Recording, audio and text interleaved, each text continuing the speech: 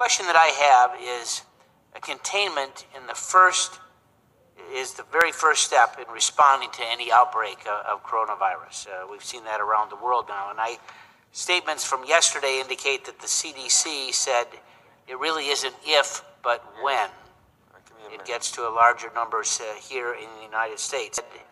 It really isn't if but when.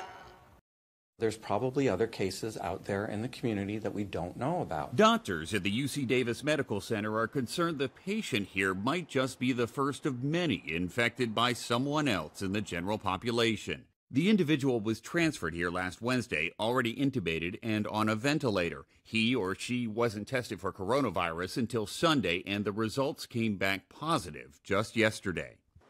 It's the first case of what doctors are calling community transmission. It suggests that we don't know where they got it from, so the person who exposed them probably exposed others. Efforts to combat the highly contagious virus are growing coast to coast. Your gown goes on first. Hospital workers outside New York are being trained to protect themselves as more than 80 people who may have been exposed in China are currently in isolation in their homes. We're in a state of high vigilance, high readiness, all elements of the city government to address this crisis. Los Angeles is also taking extraordinary precautions. We're disinfecting LAX every hour.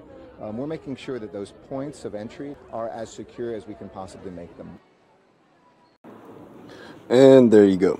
Right after they issued the warning saying it's not a matter of if, but when it's going to start spreading, they released a story saying it's spreading.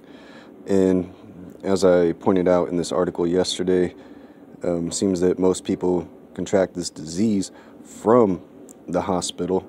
So if you know anywhere, anyone near there or in that hospital, tell them to get the hell out while they still can. All right, well, have a great day, everybody.